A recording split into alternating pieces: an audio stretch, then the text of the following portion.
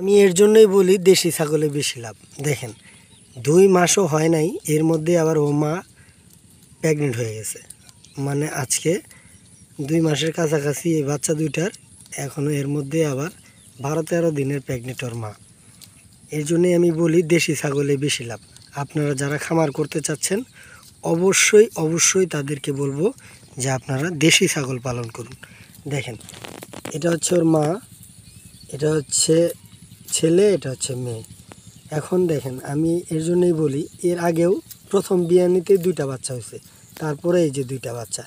এরপরেই আপনার তিনটা বা চারটা হবে নিশ্চিত ইনশাল্লাহ এর জন্য আমি বলব, আপনারা দেশি ছাগল পালন করুন। আমি এই চ্যানেলটার মাধ্যমে যেগুলো আমার সাথে ঘটে, হাঁস, মুরগি, গরু, ছাগল, আমি সবই পালন করি, ইনশাআল্লাহ, আল্লাহর রহমতে।